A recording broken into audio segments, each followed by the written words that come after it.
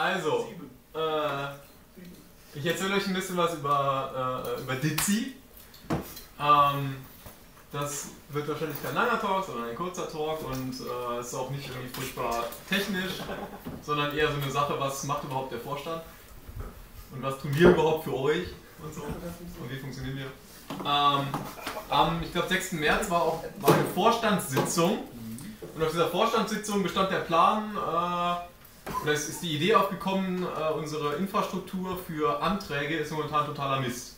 Wir haben dummerweise in der Geschäftsordnung stehen, dass äh, wenn ein Antrag über unsere Mailingliste geht, dann müssen Zustimmung und Ablehnung und ja eigentlich nur diese beiden Sachen, die müssen signiert sein, PGP signiert. Das steht in der Geschäftsordnung, sonst sind die nicht gültig. Und äh, das führt dazu, dass alle Pläne, ein Ticketsystem dazu einzuführen, also ein Redmine oder sowas in der Richtung, immer so ein bisschen mit dem Ergebnis verlaufen sind, ah, kriegen wir das aus der Geschäftsordnung nicht rein und wenn wir Anträge nicht in unserem Ticketsystem machen können, sondern sowas wie To-Dos nur, dann ist es auch so eine halbarschige Aktion, dann machen wir es lieber gar nicht.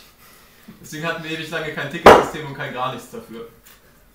Und äh, dann ist auf dieser Vorstandssitzung ist die, ist die Idee aufgekommen, hey, eigentlich kann man dafür ja einfach mal ein kleines Tool schreiben und das ist auch gar nicht so kompliziert.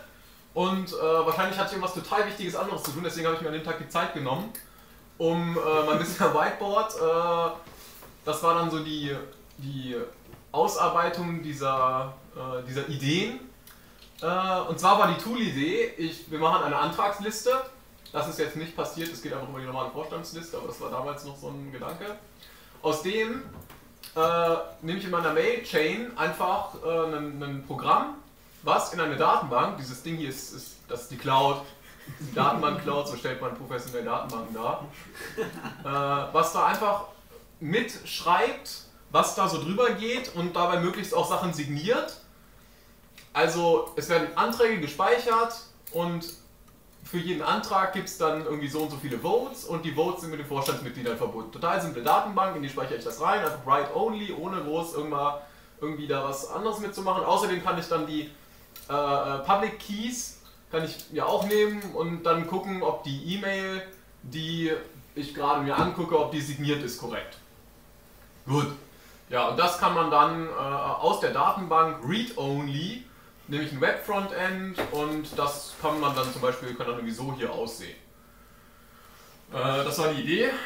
Das war am 6. März.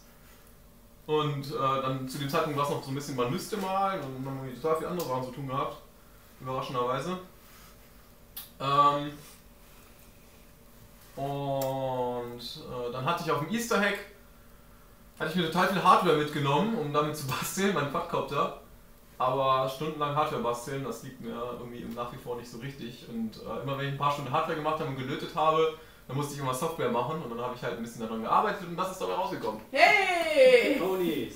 Äh, ja, das hat irgendwer hat, äh, ich habe mich nur an den Plan hier gehalten. Mhm. Da. Ja. das hat nicht mal ich dazu geschrieben. Ich weiß nicht, wer das dazu geschrieben hat. Hervorragend. Herr Röper, das, äh, ja, das habe ich dann so umgesetzt.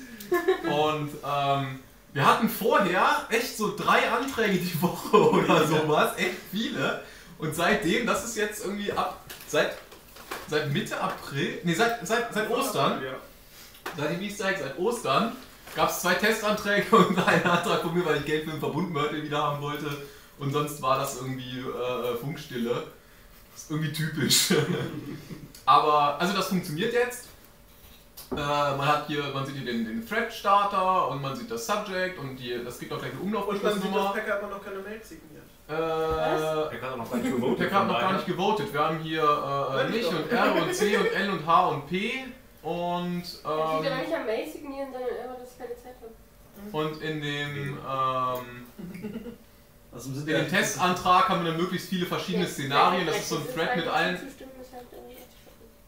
das ist ein Thread mit allen möglichen äh, Testcases wie äh, eine neutrale Vote, der einen Plus-Vote überschreibt, aber eigentlich gar nicht signiert ist. Achso, das sieht man hier. Ja, vielleicht nicht so gut. Ähm, Sieht das generell nicht gut, aber das ist glaube ich ein anderes Problem. Was? Rot-Grün, Sehschwäche. Wer rot-grün Sehschwäche hat, keine Ahnung.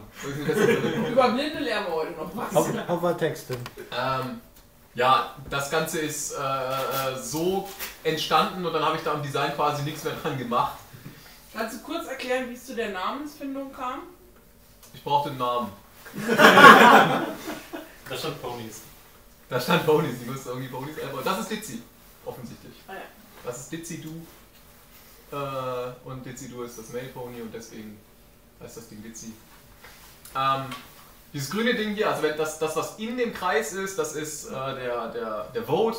Grün ist Ja, blau ist vielleicht oder, oder Enthaltung und äh, rot ist Nein, weiß ist gar nicht und ein grüner Ring ist immer signiert, ein roter Ring ist immer äh, nicht signiert. Und ja, dann hier daneben, ne, 4 von 4, okay, das hier sind jetzt 4 plus Votes und alle. Diese UB-Nummer, das ist das, was, das hat vorher Chrissy von Hand gemacht die ganze Zeit. Das ist das, was im Wiki landet, was dann auf der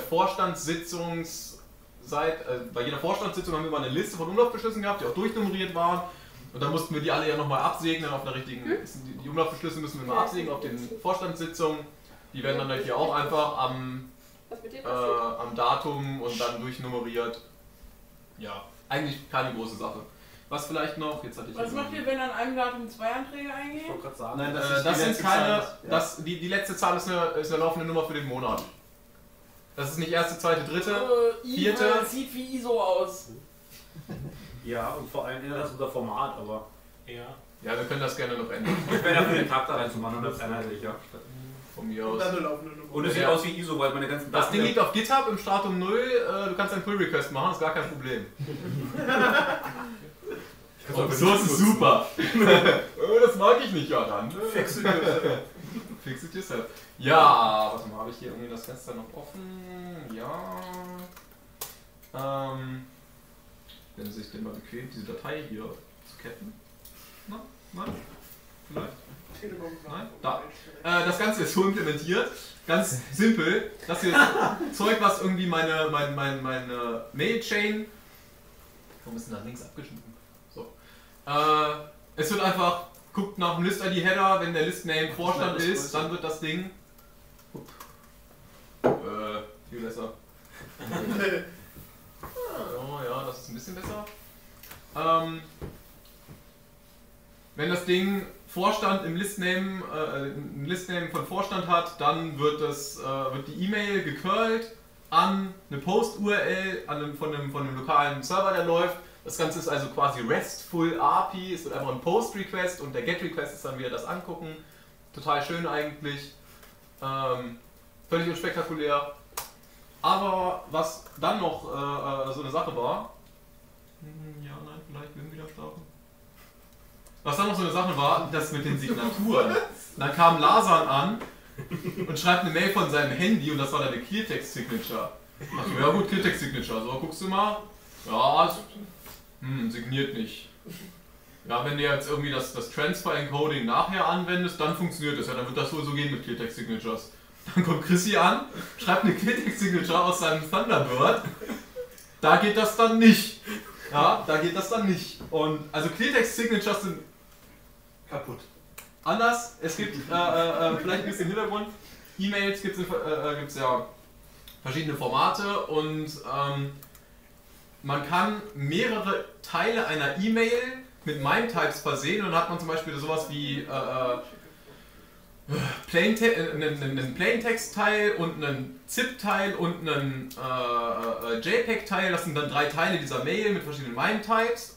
Und sinnvollerweise macht man eine signierte Mail, indem man erstens einen Textteil und zweitens einen Signaturteil macht, sodass die Signatur den Text äh, über den Text ist und das funktioniert. Das gab es nicht schon immer mit diesen, äh, dass, dass E-Mails so aufgeteilt waren in dass alles in Attachments ist quasi, sondern früher hat man halt einfach Mail, äh, einfach, einfach Text da reingeschrieben.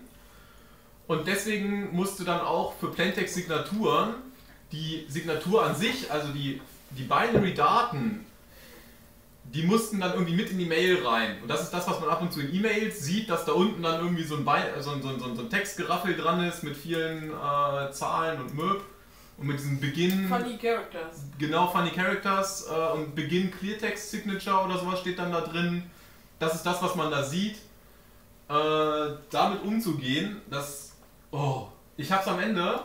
Sieht man hier unten ganz hübsch, Moment.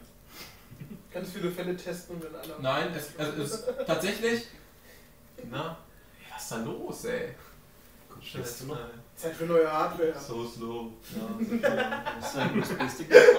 Das ist nicht auf meinem lokalen Rechner, Aha. offensichtlicherweise. Das Sondern Internet. es scheint gerade irgendwas. Ja, ich brauche gerade Internet. Vielleicht werde ich gerade Videos oder so. ähm, was ich tatsächlich mache ist, ich probiere das Lasan-Encoding aus, ob das damit funktioniert. Ich schreibe die Datei in, in, in, im richtigen Encoding hin. Äh, wenn damit die Signatur verifiziert werden kann, dann sage ich, jo, läuft.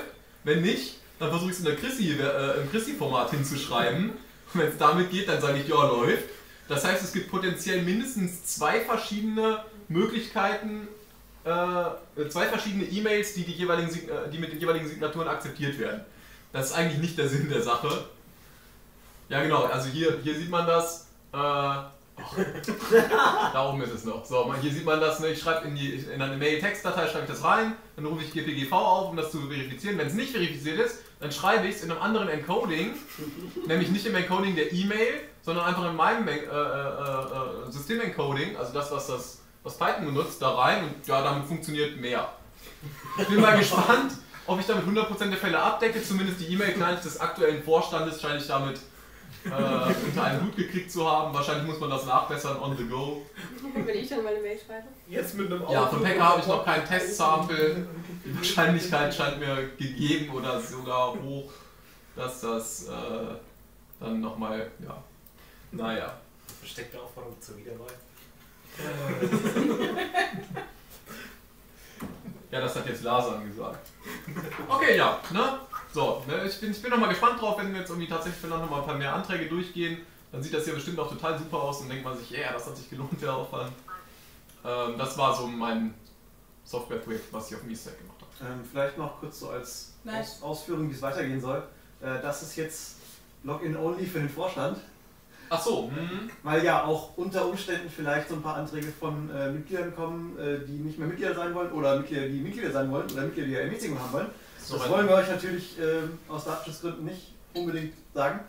Ähm, es wird vielleicht, also im Moment gibt es ja im Wiki so eine Seite ähm, auf der nächsten Vorstandssitzung-Seite, äh, wo aufgeführt ist, welche äh, Anträge so angegangen sind, äh, eingegangen sind bei uns. Und äh, daraus kann man im Prinzip auch direkt aus dem Dizi einen Export einmal machen und gucken, ob das irgendwie, äh, ob da irgendwie Daten drin sind, die äh, äh, geschützt werden sollten und dann einfach ins Wiki reinpasten. Das würde im Prinzip auch gehen. Oder Also bei, in dieser Planungsphase hier sieht man dann noch, dass mit dem PNP ist Public und Genau. Non-Public. Und ähm, es wäre relativ simpel zu implementieren, einfach wenn irgendwer vom Vorstand eckige Klammer Public, eckige Klammer zu äh, in der E-Mail eine Zeile drin hat, dass dann der Antrag auch ohne Login einfach da halt angezeigt wird auf der Seite. Das wäre machbar. Ja, ist jetzt bis jetzt noch nicht drin. Mal sehen, wie so der Bedarf ist und äh, ja, könnte halt dazu führen, dass wenn ein Vorstandsmitglied der Meinung ist, das machen wir public und wer anders sagt, aber nein, das sollte gar nicht public sein, dann kann sowas halt zu Streit führen. Deswegen habe ich es jetzt erstmal noch rausgelassen. Naja. Was ein realistisches Szenario ist. Ja, ob das wirklich ein realistisches Szenario ist, weil okay, wir können ja einfach mal kurz eine Umfrage machen, wie viele Leute von euch haben schon mal auf dieser Umlaufbeschlussseite vor einer Vorstandssitzung jemals geguckt, was, denn, was wir denn so beschlossen haben in der Zeit?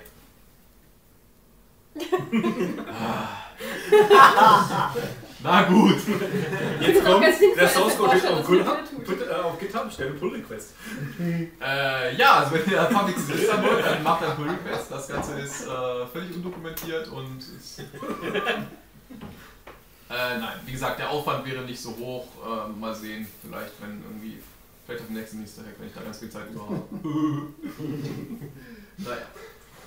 Okay. Du so. Lob, Lob, hast fein gemacht.